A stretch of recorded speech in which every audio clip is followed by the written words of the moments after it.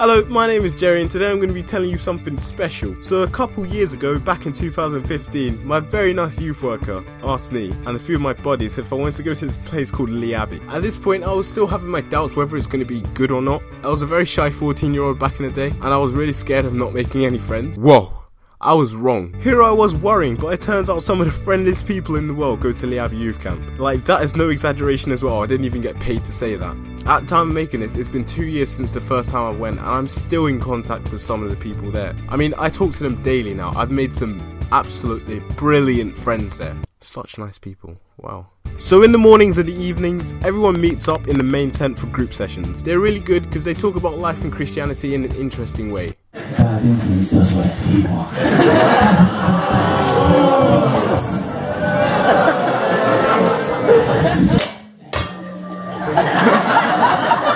there are also seminars in the afternoon and they're great. While I was there, I learned some games that I didn't even know existed, like tray fencing. What even is that? It's fun, that's what it is. We also did this game called table climbing where we had to, I guess, climb on and underneath tables. It sounds really weird, but it's really fun. We also play football and volleyball. There's a really nice beach like two minutes away, so we got to go there a lot. On the Wednesday, everyone goes out and has a fun day. On the first year, I went paintballing and then I went go karting. I mean, it was pretty good. I loved it.